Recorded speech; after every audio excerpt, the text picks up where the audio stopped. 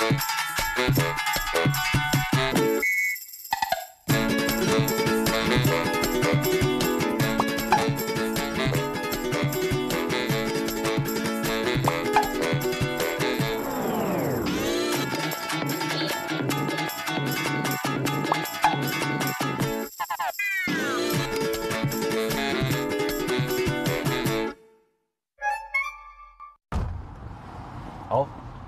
啊，老細，啲單搞掂晒啦。哦阿豪，呢排我哋生意咧就旺咗，啲單就接唔接㗎啦？你爽手少少派啦。誒、你派咗啲搭單先，我派埋尾嗰幾張之後咧，就翻嚟接你，再翻工接貨。哦，好啊。喂，係。啊，老細，你貨咁重要，我揾紙筆抄低先得喎。喂，阿豪，我電話響啊，你幫我拎過嚟聽下。哦。喂，係。好啊。咁多？首先五件去荃灣，五件去牛头角。喂，多謝晒，多謝晒。好好，唔拜拜，拜拜。哦，而家嗱嗱聲送貨先。哦。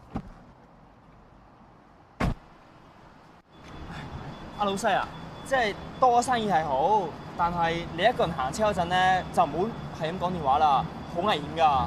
啊，係啦，你咁驚青做咩啫？快啲送貨啦！你想唔想收工啫？啊，文龍，豪仔又講得啱啦！你行車嘅時候講電話咧，好危險嘅喎，有命仔先至揾到錢噶嘛。等我堅哥提醒你啦，喺行車嘅時候咧，要用免提式裝置嘅電話。如果你真係用手提流動電話嘅話咧，你要將佢架車咧停喺一個安全嘅位置先至好聽啊，否則你就違法噶啦。根據香港法例第三百七十四 G 章《道路交通交通管制規例》第四十二條，任何司機喺佢駕駛嘅汽車移動嘅時候，不得以佢本人手持，又或者係置於頭與肩膊之間嘅方式使用流動電話，又或者以佢本人手持嘅方式使用任何其他嘅電信設備，又或者係以他本人手持嘅方式使用流動電話嘅任何附件，又或者係任何其他電信設備嘅任何附件。任何人如果冇合理辯解而違反上述條文嘅規定，即屬犯罪，可被判處罰款港幣二千元。喂，翻嚟啦！係啊，我想坐順風車喎。好啊，冇問題啊。老細，呢單搞掂晒啦。喂，堅哥啱啊，企喺度。呢個好咧好蛇龜㗎，成日咧問我揸車傾電話嘅問題啊。不如不如咁啊，你解答佢啊，唔使成日我嘛起碼。阿天哥啊，我想問下，如果個司機想打電話或者想聽電話嘅時候，用隻手去撳個手提電話，會唔會犯法啊？唔會，只係咧喺作出呢個動作嘅時候咧，冇手持流動電話，佢就唔算犯法噶啦。咁如果司機揸緊嗰架車喺停紅燈遇到塞車，又或者泊埋路邊嘅時候，佢用隻手去撳個電話，又會唔會犯法啊？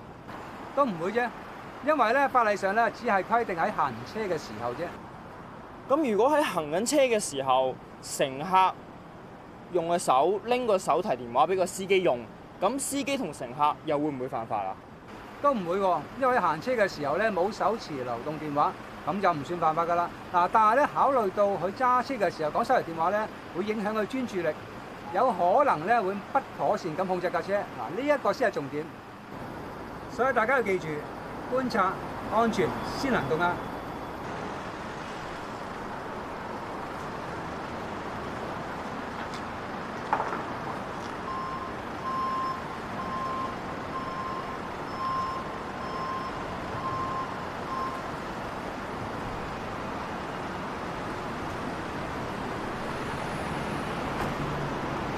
喂，馬龍，你支大燈燒咗喎！死火啦，又破財添。唔緊要啦，過兩星期我部新車到，到時先算啦。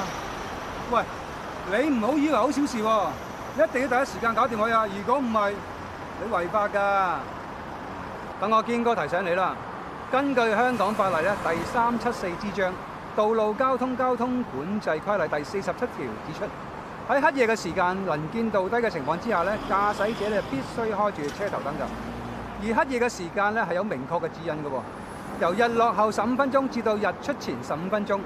至於每一日嘅日落日出時間咧，就以天文台公佈為準。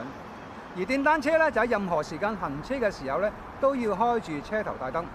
目的咧係要俾司機喺黑暗環境之下更清晰，同埋俾其他道路使用者見到佢哋。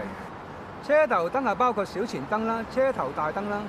喺街燈系統正在運作或者係前面有其他車輛嘅時候咧，車頭大燈就要轉為低燈啦。而低燈嘅角度咧就唔可以殘到其他道路使用者。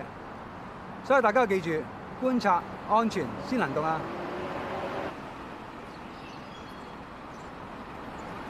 喂，老細，搞掂啦！搞掂啦！快，咁呢單咧，快快！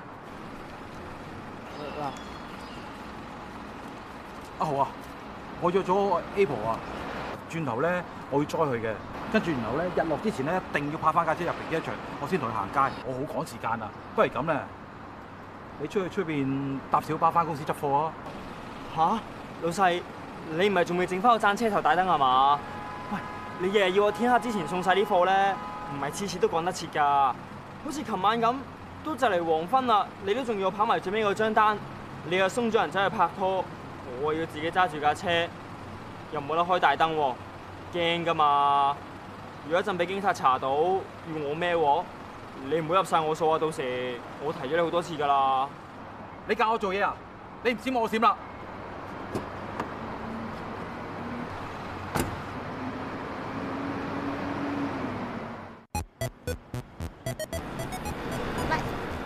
！Apple 咁早收工嘅，五點到就收工啦你？早啲收唔好咩？好，越早越好，啱我啊！古靈精怪。嗱，今晚嘅節目咧，我已經諗好㗎啦。首先咧，我哋就遊下車河先。天一黑咧，我哋就揸車上山頂食晚餐睇夜景。上山頂睇夜景，不如咁咧，我車你街市買餸，翻屋企玩煮飯仔啊，然後梗係天台睇星星啊！唉，